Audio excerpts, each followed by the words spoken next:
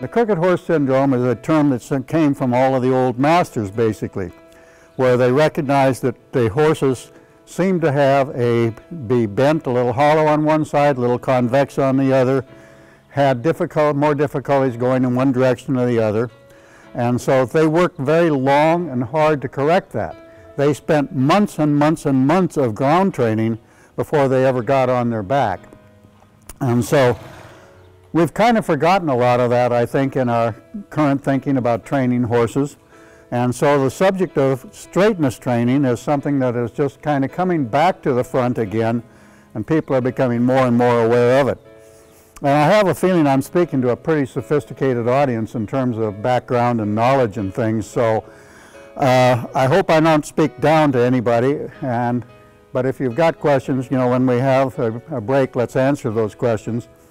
So let's talk about laterality just a little bit and crooked horse syndrome.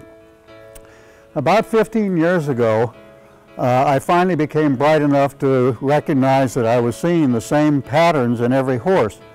And my background has been kind of in sports medicine uh, and conventional medicine before I ended up getting sick with Lyme disease and, and spent a couple, three years away from any practice and finally got healthy enough to start another career and that's when I got into more of this integrative medicine uh, things with acupuncture, chiropractic, myofascial release, what's going on with the feet, what's going on with saddles.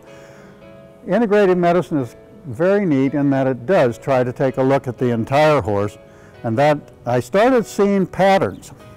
And the patterns I saw was that it did not matter what that horse's career or what that horse's job assignment was, they all had hypertonicity tension in the same muscles, whether they were a jumper, whether they were a dressage horse, whether they were a gymkhana horse, a polo horse, or no matter what they were doing. Even backyard trail horses had these same pattern of muscles.